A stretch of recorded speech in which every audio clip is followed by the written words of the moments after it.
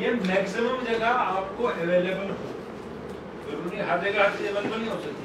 98 percent reach है the radio media it's almost universal university university of यानी कुछ ना कुछ इसमें से हर तबके को पसंद आए या हर तबका किसी ना किसी चीज़ से अट्रैक्ट हो यूनिवर्सिटी ऑफ़ यूनिवर्सलिटी ऑफ़ ये जनरली एक्सेप्टेड है we have not come to what i am dealing with as here i am not we have not come to some kind of a definition of it it is universally what they feel public service broadcasting is provision for minorities especially those disadvantaged by physical or social circumstances ये one of the aspects of is one of the fundamentals of public service broadcasting is provision for minorities minorities cannot just be religious They can be ethnic, they can be linguistic, they can be of any kind, minorities.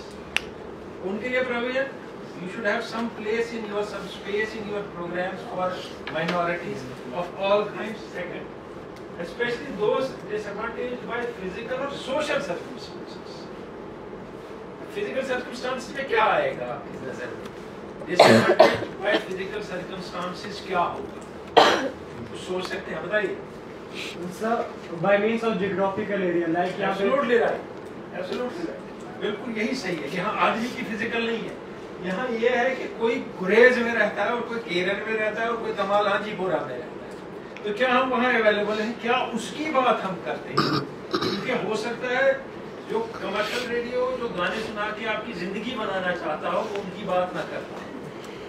तो इसीलिए मैं कह रहा हूँ। और social circumstances social circumstances much simpler यानी गरीब तबका तबका बैकवर्ड तबका वो डिसएडवांटेज तबका जो पढ़ा लिखा नहीं है जो किसान है जो या कोई